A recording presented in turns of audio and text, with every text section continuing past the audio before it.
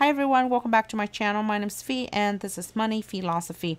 Today we will spend a few minutes talking about Tesla. I will make a very short video today, but I wanted to update you guys on my thought on the stock as well as the overall macroeconomics environment. If you're new to my channel, please consider subscribing. I am a growth stock investor and a trader and I'd love to share with you my investing and trading journeys. Let's get right into it. So, as you know, Senator Manchin said he won't vote for the Build Back Better Act, which inadvertently killed the momentum of the EV tax credit for now. Because, as you know, Elon Musk does not want or need the bill to be passed. This would be more benefiting the GM and the Ford of the world and not necessarily Tesla. Um, this also means that a bunch of people who are waiting to take delivery of the car uh, due to the tax credit would accelerate uh, delivery uh, sometime in 2021 instead of waiting until 2022.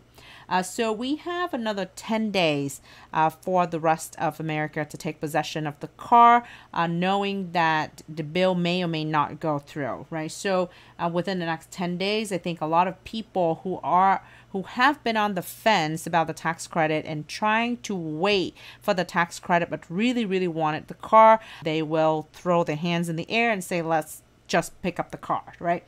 It takes a few days uh, for Tesla to get the car to their hands, and Tesla won't be able to count that delivery unless the consumer sign acceptance uh, and delivery of the car. So so I think that the 10 days could allow Tesla to make all of the paperwork and the procedure to happen, assuming Teslas already have the cars uh, at the right logistical places to deliver to the consumers.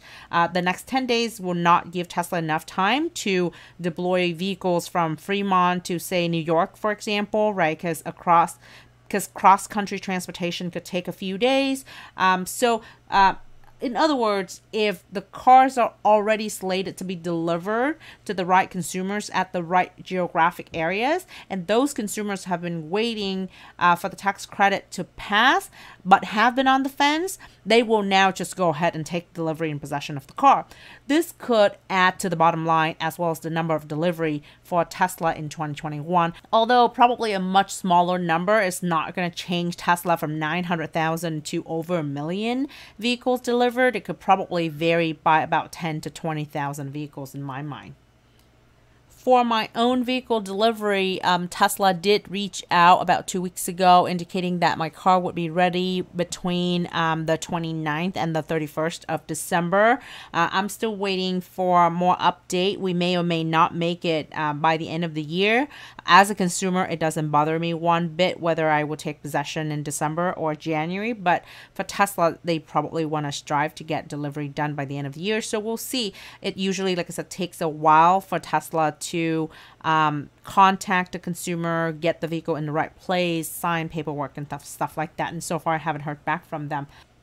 We also have a tweet from Elon uh, yesterday um, indicating that uh, for those wondering, I will pay over 11 billion in taxes this year.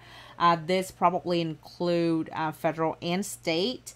Uh, this probably include federal and state. And, a few of you have speculated that Elon probably already finished selling. That's why he announced the total amount of tax that he is paying here. Um, in, in my mind, it is really hard to speculate if uh, Elon does in fact finish selling. He probably uh, will be announcing via Form 4 uh, in the next day or so.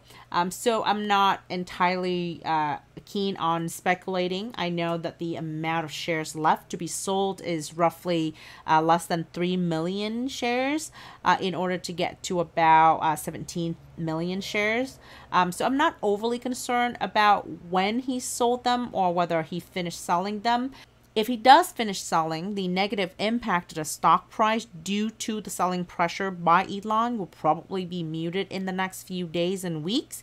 Uh, but that doesn't mean that the overall macroeconomic environment uh, enable Tesla to move up, right? If you see a bunch of other growth stock moving down, uh, then necessarily Tesla would move down. Um, then Tesla would probably more likely than not move down with them. Um, so I'm not necessarily taking this as a extreme positive sign for the stock, although it definitely has lifted um, selling pressure from the stock if he does in fact finish selling all of his shares. Um, for right now, let's take a look at chart and see what it tells us. Here's the daily chart for Tesla. I want to zoom out a little bit so we can see that um, the last time Tesla had a breakout, it consolidated and then crashed um, and then trying to make it back, crash again, creating uh, almost like a double top or descending triangle here, and then eventually continue to go back up and break out again with um, a different set of bullish news, such as a Hertz order um, way back in October. So Tesla is the kind of stock that would go up like crazy and then correct or crash, right? So we've seen this time and again, and this is no exception. We have a triple top here, and sure enough, Tesla's been falling down. Um, I do see that uh, the volume for today is really low at 69%. Um, and I do believe that Tesla has an RSI divergence here. Uh, while the stock price is going down on the daily chart, RSI has been moving sideways and lifting up from early December. So I strongly believe that Tesla is closer and closer to a reversal. I don't think that um, Tesla would be getting down to um, the 700s anytime soon. Uh, having said that, uh, the 100 day SMA, which is the purple line that I just added here, is right now at uh, $878. And uh, if Tesla moved down further to the previous uh, point before the major breakout, that would be $853. So it is entirely possible that Tesla would get back there. Uh, note that I eliminate the gap line since Tesla already filled the gap, so it is now irrelevant.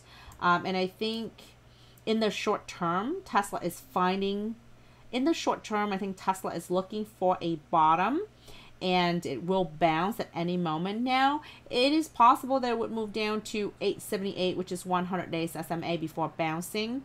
Um, 200 days SMA right now is at 764. Um, I personally don't think it will get there uh, because there are a lot of bullish catalysts from now until the end of January. So um, moving down further, probably not likely at this point. Here's the hourly chart. You definitely see divergence on the RSI here. Although I have to be candid in saying that this is a descending triangle. Um, you can see this from the hourly chart here. With the strong support is right around um, $897.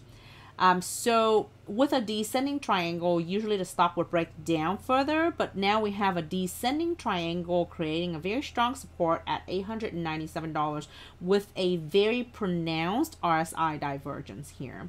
Um, so the possibility for tomorrow would be Tesla would touch the lowest point of today again, which is right around 893, and then start bouncing. Um, absolute worst is probably will get to the bottom pivot point, uh, which also coincides with 100 days SMA, which is at $878 before bouncing again. Um, I do see this RSI divergence here, and so I think reversal is imminent. Uh, imminent one day or imminent three days, I don't know, right? I just know the Tesla is looking for the bottom. So the daily candle doesn't necessarily look like a complete uh, bottoming candle. So a bottoming candle would look something like this. Either it has a two fail rocket launch back to back, hitting some sort of support, or it would have a failed rocket launch and then a bullish hammer also crossing right around at a major support area. That would be um, bottoming candle. Here, this looked like a continuation of the price action from two days before.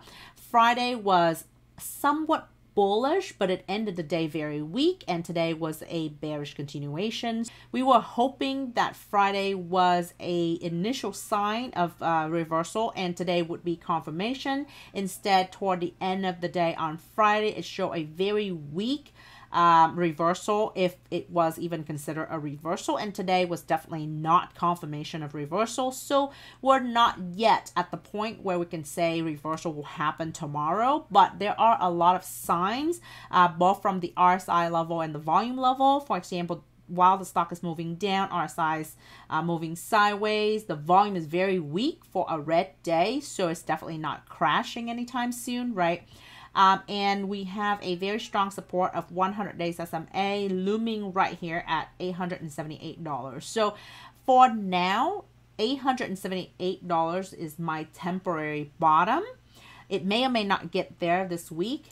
Um, so if you look at the 30 minute chart again, uh, it has to open right around yesterday lowest point or at least a gap down and continue to move down pretty drastically to hit 878 um, and if it does get there i think that would be a temporary uh, bottom right now for me, um, I'm thinking of entering a call option, um, and I probably will do so when market opens with a gap down.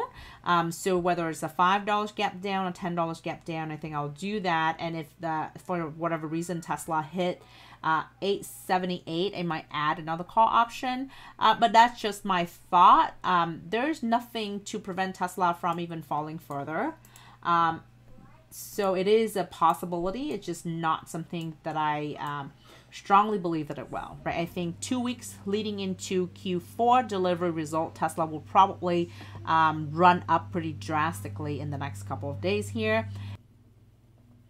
So overall, I am still very bullish in the short term for Tesla. I'm looking at um, a potential bounce here any moment now. Um, and I think that uh, toward the end of this week and the entire week next week will be a good opportunity for Tesla bulls because I think the stock will start running then. Um, but uh, all the signs are there. Tesla just need to make an initial move and confirm it with a confirmation candle. We have neither at this point, so right now it is just an anticipation. Uh, do not go in a trade if you uh, anticipate something without any confirmation. I would definitely wait for confirmation first. For me um, personally, I will probably take that chance because 100 day SMA at 878 is a very strong support. So I'll take a chance. In my mind, that's an optimal point, meaning that it could go down further, it could go up, but as I stand today, not knowing the future, I think that's an optimal point, right? Um, but I don't want you guys to follow me blindly, not understanding the rationale. And when the stock tanked down to 850 or 800, uh, you'll have such a hard time with it and thinking that we picked the wrong point of entry. The point of entry will never be perfect. In hindsight, you'll know it's right or wrong. Right now, um, that's what I see, and that's what I would enter for myself. Um, if you have any question, comment down below. I'd be happy to answer questions for you. Uh, if you'd like to have a direct line to me and ask me questions and talk to me on a regular basis about any kind of stock that you are trading, uh, feel free to sign up for my Patreon page, link down below, um, and that way you could have direct access to me. I will also um, put my market analysis or trade analysis on the Patreon page as well. Until the next video, thank you very much. Bye.